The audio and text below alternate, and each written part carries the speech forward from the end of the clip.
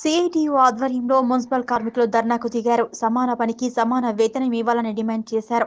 ఎన్నో సంవత్సరాల నుంచి మున్సిపాలిటీలో పనిచేస్తున్న ఉద్యోగులను పర్మనెంట్ చేయాలన్నారు.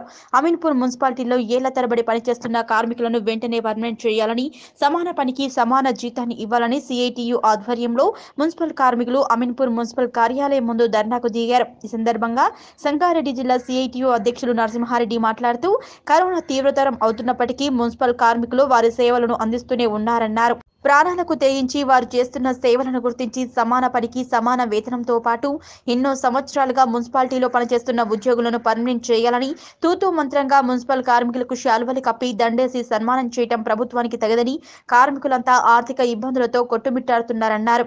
ఈ సమయంలో ప్రభుత్వం చొరవ తీసుకొని మున్సిపల్ కార్మికులకు న్యాయం చేయాలని కోరుతున్నారు. హైకోర్టు తీర్పు ఇచ్చింది సుప్రీంకోర్టు తీర్పు ఇచ్చింది. మొన్ననే పదకొండు తారీఖు ఆగస్టు హైకోర్టు తీర్పిచ్చింది. ఏమని? మున్సిపల్లో పనిచేస్తున్న ప్రతి ఒక్క కార్మికుల్ని కేటగిరీల వారిగా పర్మనెంట్ చేయాలి. అయితే మెడికల్ బెనిఫిట్స్ కల్పించాలి. పదకొండు పిఆర్స్ ప్రకారం ఇరవై నాలుగు వేలు దీన్ని ఇవ్వాలి అయితే ఈ- ఈరోజు ఈ ధర్నా ఈ వర్షంలో కూడా అందరూ పాల్గొన్నందుకు ధన్యవాదాలు.